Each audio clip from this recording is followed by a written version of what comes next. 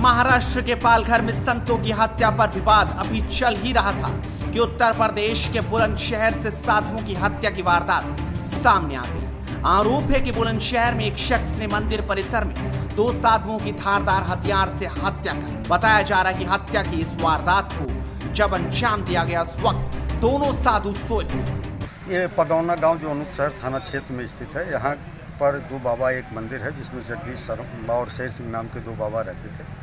और इसी मंदिर पर भी गाँव का ही एक व्यक्ति है, जिसका नाम मुरारी उर्फ़ राजू है, जो आता जाता था भंगेड़ी है, बहुत ज़्यादा भाँग पीने का आदि रहा है।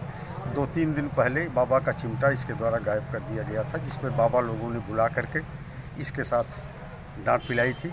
उस आधार पर कुछ बातें इसके दिमाग में रही होंगी, जिसके आधार पर इसके द्वारा आज सुबह किसी समय आकर के तलवार से इन दोनों बाबाओं की हत्या कर दी गई। बाद में गाँव के लोगों ने इसको गाँव से बाहर तलवार लिए हुए जाते हुए देखा गया था। उस आधार पर इसकी तलाश की गई। गाँव से दो किलोमीटर दूर नशे की हालत में अर्धनग्न अवस्था में मिला है। अभियुक्त को गिरफ़्तार कर लिया गया है। मौके पर मैं मौजूद हूँ।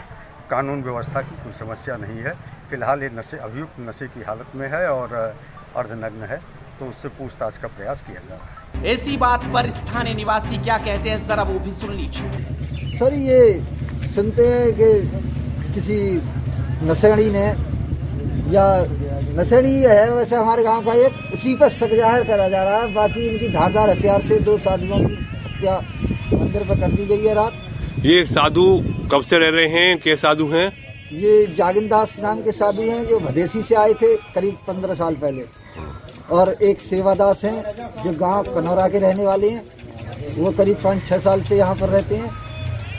तो इस मंदिर की सेवा पूजा करते हैं साधु। हाँ इस मंदिर की सेवा दु, दु, सेवा पूजा करते हैं और भगवाना से पास में दुगरुई से आस पड़ोस के गाँव से भिक्षावृत्ति करके अपना जीवन यापन करते हैं घटना है बुलंदशहर में अनूप शहर कोतवाली क्षेत्र के पगोना गाँव में एक शिव मंदिर। शिव मंदिर में रहने वाले पचपन वर्षीय साधु जगनदास और पैंतीस वर्षीय साधु सेवादास की हत्या कर जब ग्रामीण मंदिर पहुँचे तो साधुओं के शव खून से लथपथ मिले। गाँव वालों ने आरोपी को पकड़ लिया।